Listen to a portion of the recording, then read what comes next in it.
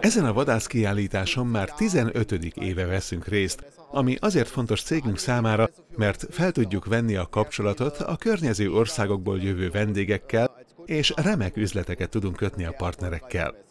Én már 20 éve vadászom Magyarországon, és sok vadász vendégünk is szívesen jár oda. A magyarországi szarvasbika vadászat és a disznóhajtás nagyon keresett. A vadászat megítélése Németországban is probléma, mondhatni erőteljesen negatív irányba tart.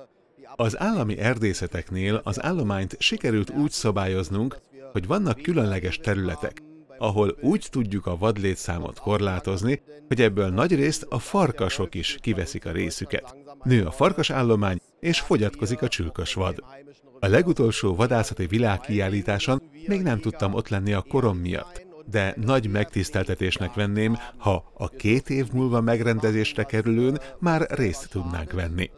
Azt gondolom, hogy hirdetnünk kell a fair play vadászatot, meghatározott kilövési tervekkel. Vadászias körülmények között kell elejtenünk azt a vadállományt, amely a túlszaporodást jelentené.